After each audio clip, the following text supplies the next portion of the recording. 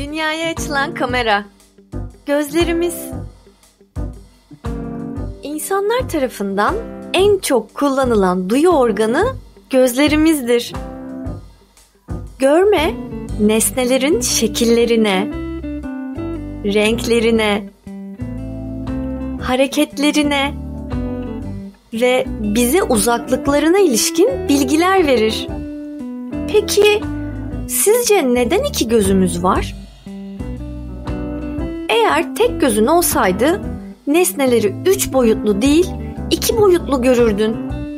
Ve bu nasıl bir his mi? Bu her şeyin düz görünmesine neden olurdu. Böyle düz bir dünya emin ol çok sıkıcı. Peki gözler nasıl görür? Gözlerimiz tıpkı birer kamera gibi çalışır. Evet, tıpkı kamera gibi. Işığı ve şekilleri sürekli kaydeder. Bu kayıtları anlamlandırmak da aslında beynimizin işidir. Peki bu nasıl mı olur? Bir nesneden gelen, yani aslında ona çarpıp yansıyan ışık gözümüze saydam bir tabakadan süzülür. Bu saydam tabakanın da adı korneadır. Ardından gözümüzün ortasındaki koyu renkli yuvarlaktan yani göz bebeğinden içeri girer. Göz bebeğinden geçen ışınlar mercekte kırılır. Bir şeyin kırıldığı yok korkma. Bu sadece ışık kırılması. Retinadaki sarı leke üzerinde nesnenin küçük ve ters bir görüntüsü oluşur. Evet ters. Yani aslında gözlerimiz her şeyi baş aşağı algılar. Neyse ki devreye girip de işleri düzelten bir beynimiz var. Her şeyi ters gördüğümüzü düşünsenize. Çok mide bulandırıcı olabilir. Ama görme sinirleriyle iletilen bu görüntü beynimizin görme merkezinde netleştirilir ve düzleştirilir.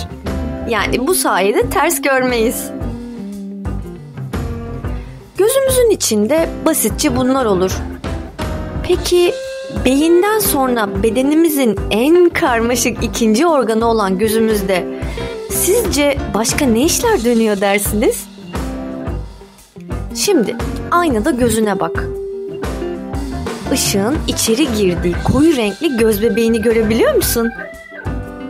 Göz bebeğimiz çevresindeki renkli bölümün yani iris tabakası denen kasın yardımıyla büyüklüğünü değiştirebilir. Yani aslında irisimiz sürekli büyür ve küçülür. Göz bebeğini açıp kapatarak göze giren ışık miktarını iris ayarlar. Şöyle düşünün. Eğer ortamdaki ışık çok parlaksa göz bebeğimiz küçülür ve gözümüze daha az ışık girmesini sağlar. Yani bir bakıma gözümüzü fazla ışıktan korur. Eğer ortamda az ışık varsa ya da karanlıksa iris göz bebeğimizi açar. Daha çok ışık alarak net bir görüntü elde etmeye çalışır. Bunu sen aslında bir arkadaşınla da deneyebilirsin. Arkadaşının gözüne önce az ışıklı bir ortamda bak. Sonra gözüne bir anda fener tut ve irisin nasıl küçüldüğüne bak. Ama arkadaşım bu durumdan pek memnun olmayabilir.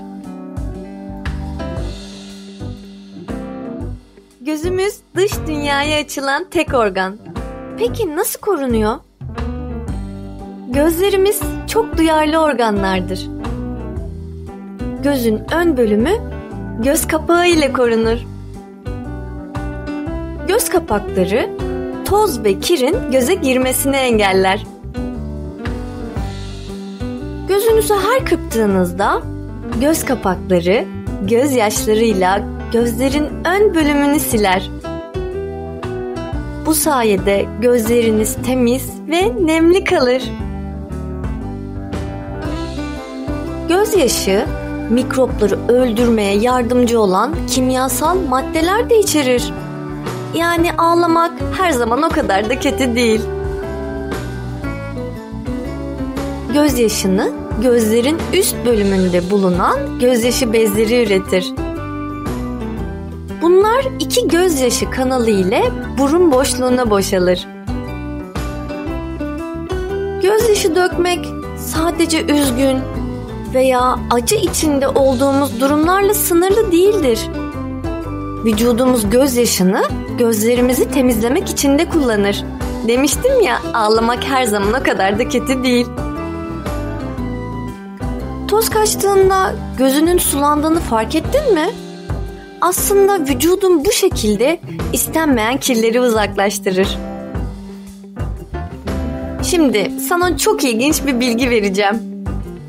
Yaklaşık 9400 kere gözlerinizi kırptığınızı biliyor muydunuz? Artık biliyorsunuz.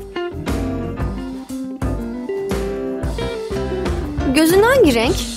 Kahverengi, mavi, yeşil, belki de ela.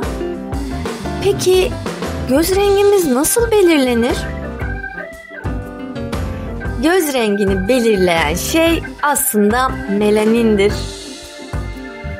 İçlerinde ne kadar melanin varsa gözlerin o kadar koyu renk olur. İnsanların yüzde sekizi mavi, yüzde ikisi yeşil, yüzde sekizi ela ve yüzde elliden fazlası kahverengi gözlüdür. Sen hangi yüzdelik dilimdesin peki?